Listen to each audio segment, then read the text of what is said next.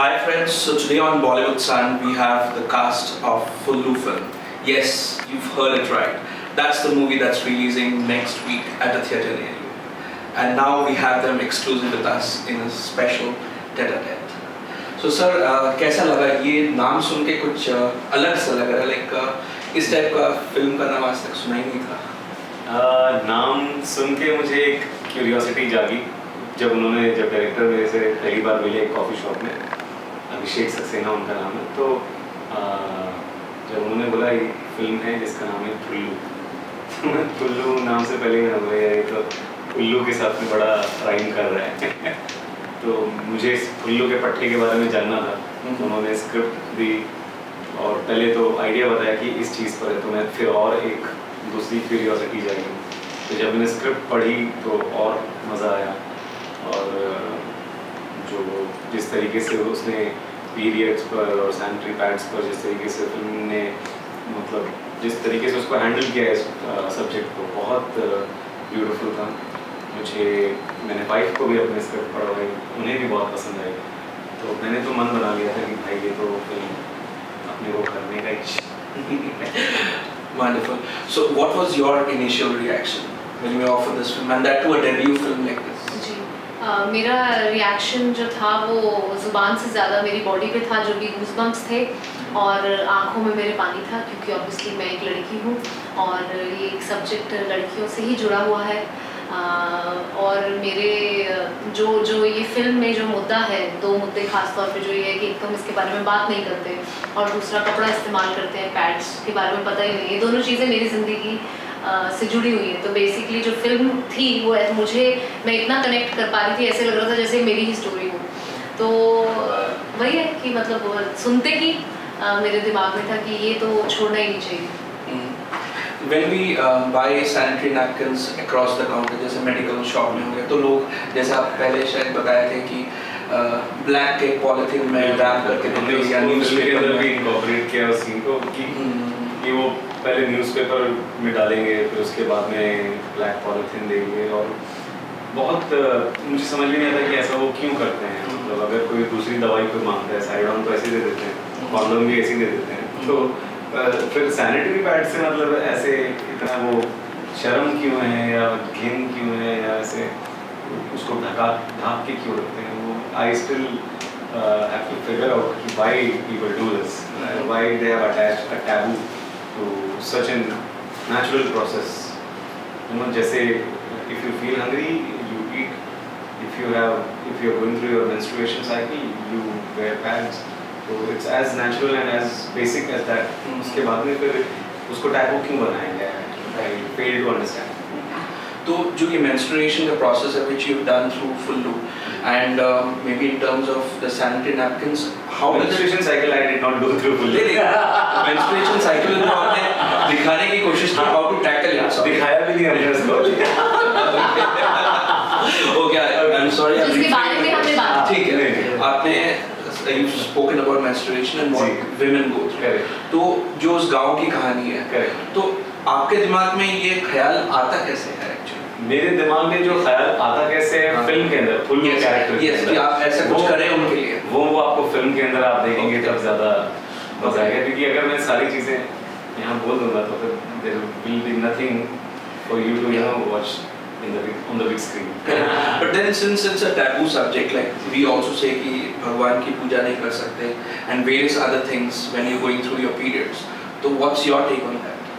वो भी बहुत बहुत अजीब चीज़ें हैं हो सकता है उनके पीछे कुछ रीजंस उस जमाने में होंगे जब वो बने होंगे अगर मतलब अगर मंदिर में अगर जाना अलाउड नहीं है पीरियड्स के दौरान हो सकता है उस वक्त जो पैड्स थे नहीं हम्म। और अगर कपड़े होते होंगे तो अगर अगर वो वहाँ पे हो सकता है मंदिर में मतलब अगर ब्लड वो होता होगा तो उस वजह से शायद हो सकता है कि बट आज सैनिटरी पैड्स हैं तो फिर आज तो कोई प्रॉब्लम नहीं है उस हिसाब से जाने की तो मुझे ऐसा लगता है कि कुछ चीज़ें उस जमाने के हिसाब से बन जाती होंगी। उस वक्त आई थिंक रिसोर्सेज की बहुत कमी कमी थी तो रिसोर्सेज की कमी होने के कारण जैसे कि आपने अगर कपड़ा लगाया है तो आप अगर मंदिर में जाके ज़मीन पे बैठ रही हैं भगवान की पूजा करने के लिए तो हो सकता है स्टेन लग जाए। तो शायद ये सोचते पर मैं तो उस बात से भी कहीं ना कहीं मैं मैं समझ ही नहीं सकती इस बात को। क्यों? अगर लग भी गया मान तो लो तो क्या है? खून ही तो है।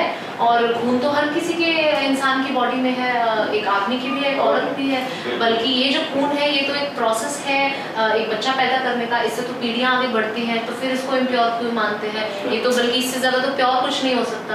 तो बाकी वही अब रिलीजियस सेंटिमेंट्स तो हम हर्ट नहीं करना चाहते इसलिए इस बारे में ज़्यादा बात नहीं करूँगी। लेकिन मैं समझ नहीं सकती कि आप जैसे अचार नहीं छू सकते। तो अब लोग कहते हैं, भाई, आपको नहीं पता, वो अचार इसलिए नहीं छू सकते। अभी किसके क्या रीजन है उससे वो इस डिबेट तो ये तो नेवर एंडिंग है।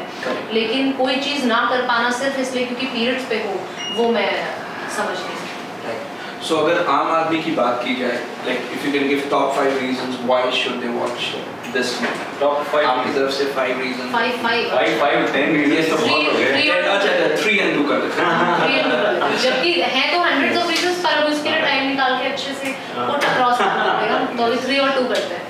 देखिए सबसे नंबर वन रीज़न जो है वो ये है कि हम we are trying to break a taboo जो लोगों ने मतलब एक बहुत ही बेसिक चीज़ को बना दिया है।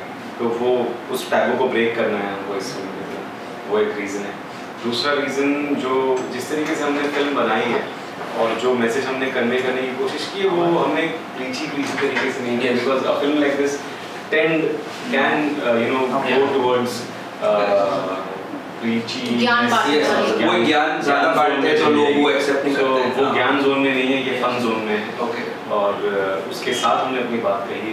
तो there are lots of shades in the film में सिर्फ़ और सिर्फ़ हँसी नहीं है थोड़ी हँसी है थोड़ी मुस्कुराहट है थोड़ा रोमांस है थोड़ा इमोशन है। तो सब कुछ है फ़िल्म के अंदर। कॉमेडी है डांस है ट्रेजेडी है। थर्ड हो। गया थर्ड थर्ड हो गया? थर्ड थर्ड हम फुल्लू हैं और ये पिगनी है। फोर्थ वैसे तो उन्होंने काफ़ी अच्छी बातें कह रही हैं। अब मेरे लिए कुछ पर मैं हाँ ये कहूँगी कि ऑडियंस को कि आ, कितना होता है बॉलीवुड में जब यू नो बाहर निकल के कुछ डिफरेंट टॉपिक्स पे फ़िल्में बने बहुत कम होता है। तो ये एक ऐसी फ़िल्म है जो कुछ हट के कुछ बताना चाह रही है। तो एक तो रीज़न ये हो गया। और दूसरा ये है कि आ, देखनी इसलिए चाहिए ताकि जैसे कहते हैं ना कि मॉडर्न कपड़ों में तो हम हो जाते हैं या खान पीन में हो जाते हैं। रोटी से बर्गर पे आ गए या सूट से हम शॉर्ट ड्रेस पे आ गए। तो आई थिंक सबसे पहली जो शुरुआत होनी चाहिए वो यहाँ दिमाग से होनी चाहिए। तो ये कोई बीमारी नहीं है ये कोई बुरी बात नहीं है जिसे हम छुपाएँ। तो ऐसी एक फ़िल्म हमने बनाई है और कोशिश की है कि एक ऐसा स्टेप लिया है जिससे हम लोगों को ये बताना चाह रहे हैं कि ढकने की ज़रूरत नहीं है you should be proud of this and like the biggest thing probably in this film is कि ये हर घर की कहानी है। बिल्कुल। Every woman in every house they go through this more हर औरत हर आदमी की भी तो कहानी है ना। आदमी के साथ औरतों के साथ होता है। और आदमी उसे ढकते रहते हैं ढकते रहते हैं। अरे, मेरे, मेरा भाई है, इसके सामने मत बोलो। मतलब अपनी बीवी को कहते हैं कि ये भाई है, उसके सामने मत बोलो, ससुर के सामने ये बात मत करो। तो ये सारी चीज़ें अब तोड़नी पड़ेंगी। हम ये बिल्कुल नहीं कह रहे मैं नहीं कह रही हूँ कि हर चीज़ के बारे में जाके हल्ला मचाओ। हल्ला अगर ज़रूरत नहीं है बात करने की तो एक अलग चीज़ है। हमने बात नहीं की। बोर्ड लेके नहीं खड़े होना है सड़क पे कि भाई I want my periods but मैं जो मैं एग्जाम्पल्स जो मेरे दिमाग में आते हैं, जिनसे दुख होता है, वो ये है कि जैसे बिन माँ की बेटियाँ होती हैं। तो अगर उन लोगों को पीरियड्स आ जाते हैं और ना छोटी उम्र में माँ चल बसी वो लोग बोल ही नहीं पाते हैं अपने बाप को अपने पिताजी को कि भाई हमें पीरियड्स आ गए हैं और ये क्या है या क्या नहीं बात नहीं कर सकते हमें पैड्स ला दो वो बात नहीं कर सकते फिर वो चाची मामी ढूंढनी पड़ती हैं। तो आई थिंक ऐसी चीज़ों में ज़्यादा मैं हम हाँ, चाहते हैं कि आप लोग जहाँ पे ज़रूरत है वहाँ पे इसे बोलिए। तो ऐसे कोई सिचुएशन जो कॉमिक सीन हो maybe in the film which you would like to enact जो आप दोनों के बीच हो। एनैक्ट कॉमिक सीन एक छोटा सा हाँ कर सकते हैं अच्छा। अरे तुम तो एकदम रेडियम लग रही हो। मतलब इसका बैकग्राउंड ये है कि मैं हमारा सूट हमारा सूट पहन के आई। ओके ओके तो हाँ तो अब शुरू करो। होता है ना घड़ी में। हाँ। हाँ। तुम तो एकदम रेडियम लग रही हो। रेडियम? वो कहाँ होता है? अरे रेडियम रेडियम होता है। रहता है ना घड़ी का अंदर हरा हरा कच्चा पत कच्चू पत्ता जैसा। हम्म। एकदम चौकस चकाचौंध। तो माने हम हरा सूट पहन के आए तो आप तुम हमको रेडियम बोल दिए। और अगर हम काला सूट पहन के आते तो हाँ? कौवा बोल देते। तुम तो एकदम रूस गए। रियली वन सो फाइनली जाते जाते बस ऑडियंस के लिए इन टर्म्स ऑफ़ सॉन्ग्स भी कुछ लाइक there are तो बहुत प्यारे गाने हैं। एक वेडिंग सॉन्ग है एक हमारे बीच एक लव सॉन्ग है और एक इमोशनल सॉन्ग है और एक मोन्टाज में एक और सॉन्ग है जिसमें मेरा इंट्रोडक्शन है। हम्म। मनमतन का गाना है तो चारों गाने बहुत प्यारे गाने हैं और very very very happy with the music of the film and I really want everybody to listen to Phullu music please सुनिएगा। Bhunur Bhunur is my favourite my favourite also और मुझे सबसे प्यारी चीज़ इन गानों के बारे में वो लगती है वो जो आजकल जो रोमांस हो गया है ना वो असली वाला रोमांस जो एक मियाँ बीवी में होता है छोटी छोटी चीज़ों में से जो खुशी मिलती है आ, जैसे कि चाहे वो एक नदी के अंदर पत्थर मारने की खुशी क्यों ना हो साथ बैठ के। वो सारी चीज़ें जो इसमें दिखाई गई है तो लोगों को पता चलना चाहिए कि बे, बे, असली रोमांस ये होता है।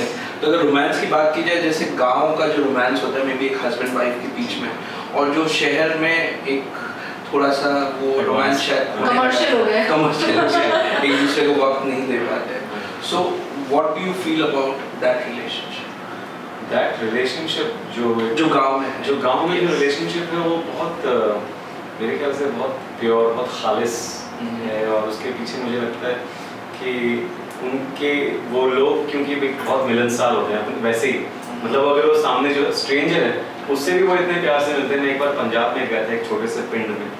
तो हम सिर्फ़ गुजर रहे थे एक जगह से तो साइकिल में एक सरदार जी आए और उन्होंने बोला, अरे, आप कहाँ से आए? उन्होंने बोला, हम मुंबई से आए बोला, अरे, चलो आओ, रोटी खा लो, हमारे घर पे आ जाओ तो ऐसा बॉम्बे में आप एक बार सोच लीजिए कि कोई आपको ऐसे बुलाएगा, ऐसे करते कि आप मेरे घर पे रोटी खा ले। तो वो अगर स्ट्रेंजर स्ट्रेंजर को अगर वो इतना प्यार देते हैं तो जिससे वो प्यार करते हैं तो उसके ऊपर तो अपनी जान निछावर कर देते हैं। तो वो प्यार गाँव में होता है। वहाँ प्योरिटी है प्योरिटी है yes.